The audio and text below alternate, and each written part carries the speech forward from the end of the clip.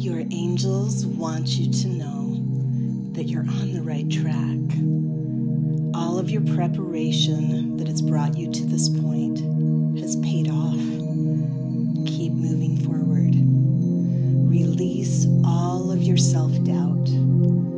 Trust your divine inspiration. Realize that watched over